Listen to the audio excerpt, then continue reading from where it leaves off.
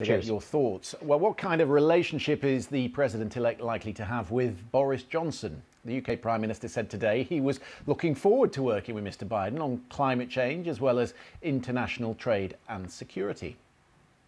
But as our diplomatic correspondent James Landale reports, there are some tricky issues ahead. From the days of Margaret Thatcher, Joe Biden has been no stranger to Britain, making it his business to know the prime ministers of the day at least until now. For Boris Johnson has yet to meet the president elect, and the two men have their differences. Mr. Biden's described the PM as a physical and emotional clone of Donald Trump. And as for Brexit, had I been a member of parliament, had I been an, a British citizen, I would have voted against leaving. Views shaped in part by his ancestry. Mr. Biden, a quick word for the BBC. The BBC, I'm Irish. He's made clear that peace in Northern Ireland should not become a casualty of Brexit, with a UK US trade deal very much on the line, a warning repeated by allies.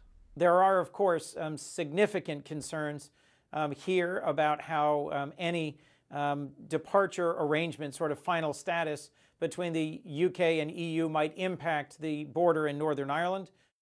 From Downing Street, the Prime Minister insisted the US was Britain's closest, most important ally and there was a good chance of a trade deal. There is far more that unites the uh, government of this country and uh, government in, in Washington any any time that, at any stage than than divides us. We have common values, we have common interests, we have a common uh, global perspective.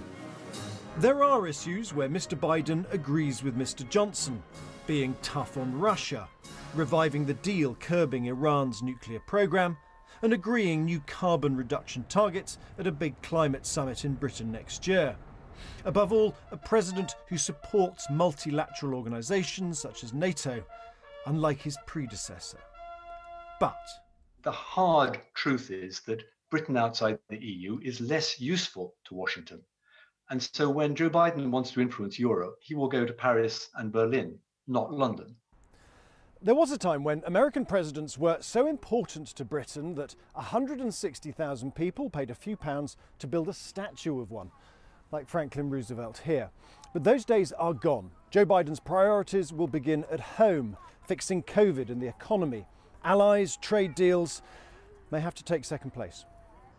So for now, a relationship not as special as once, but more predictable than of late, with perhaps fewer tweets. James Landale, BBC News.